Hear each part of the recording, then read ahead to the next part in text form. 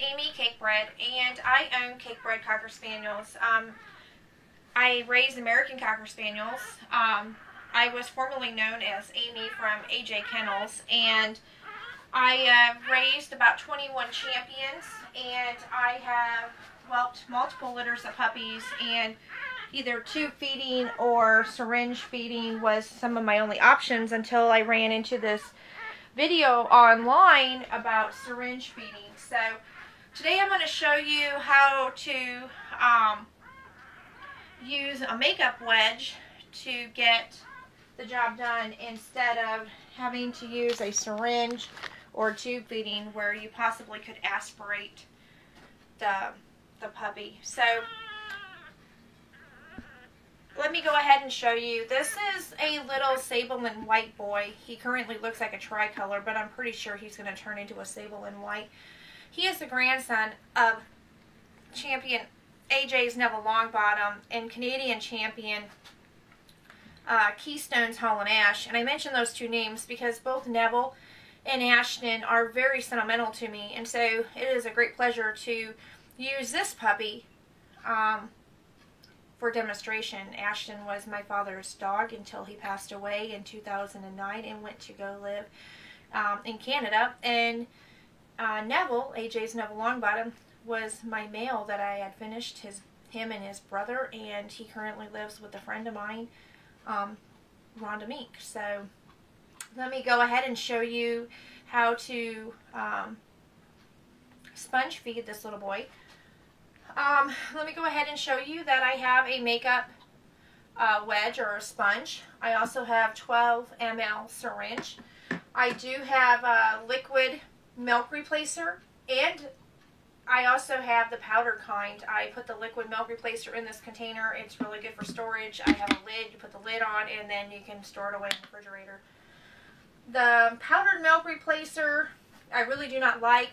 I mean, you can use it, but my problem with the powdered is it doesn't seem like it wants to absorb into the sponge. So here's my sponge. What I've already done is I've actually got it out of the plastic um, bag that it comes in. There's 32 of them and usually I get them at Walmart.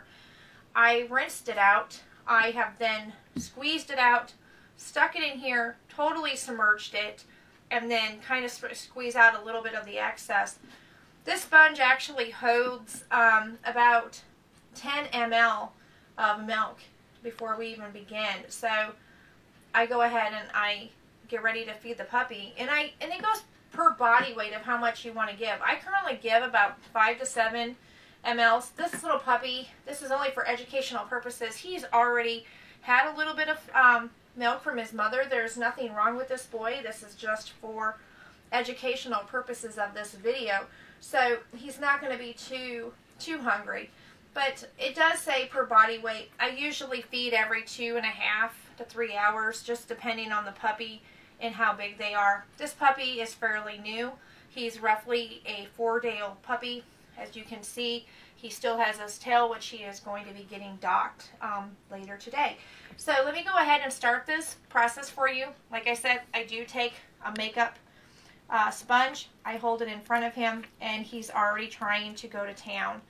Um, he is trying to latch on right now, as you can see. I do have him currently sucking on this. It's kind of hard to see. With What I try to do is, once he is on, you kind of support him and the sponge. I take a little bit, about a half a cc at a time, and I put it on the actual sponge. And it's not that he is actually eating a half a cc at a time because there is still room in the sponge for more fluid, but I do about a half a cc or just a couple drops, whatever, you know, that you want to do. But as you put this on the sponge, you can actually see it soaking right up. I don't know if you can see it in the video, but it does um, soak right up because he is nursing and he is soaking up that milk as fast as it's going in. So I do this until you can kind of see his belly is getting full or roughly, you know, per what the container says. And, you know, if he's not wanting to eat or eat anymore or he's just, you know, trying to not latch on, you can kind of tell at that point that he's pretty much done. Um, and this is all that's to it. When I get done, um, I put the syringe down, obviously, and then I take the sponge um, away from him. I give him back to mom. And then what I do after that is I rinse out this sponge. I put it in a plastic bag. And that way I can use it for the next time. I only use it a couple of times. Um, you know, if I have one puppy, I try to only use it a couple of times.